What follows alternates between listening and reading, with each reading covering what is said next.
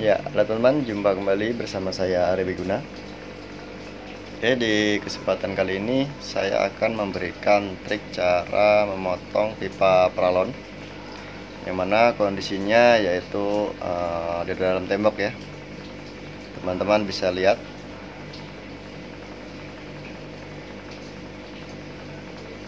Nah, posisi seperti ini kita akan sangat kesulitan jika kita akan e, memotongnya menggunakan gergaji. Dikarenakan mungkin space-nya e, untuk gergajinya tidak ada karena dia terlalu rata dengan tembok ya. Jadi sangat susah.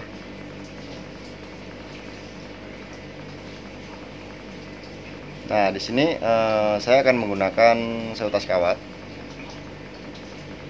kawat ini nanti fungsinya sebagai pengganti gergaji ya buat teman-teman yang mungkin eh, pernah menemukan pipa seperti ini dan bingung cara memotongnya teman-teman bisa mengikuti eh, trik berikut ini.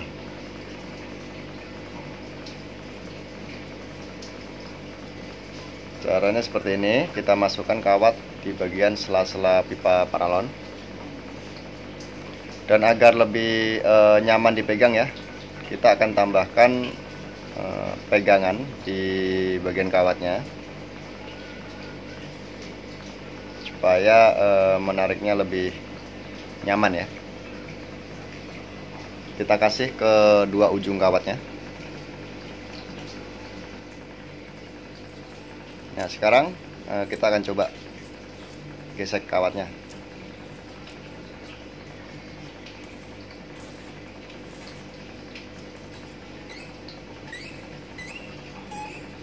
Nah, dari gesekan inilah eh, kawat akan memotong si pipa paralon karena kawatnya akan berubah menjadi panas ya.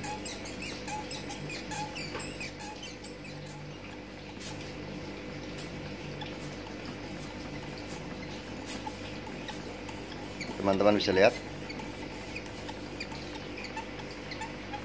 perlahan kawatnya sudah mulai masuk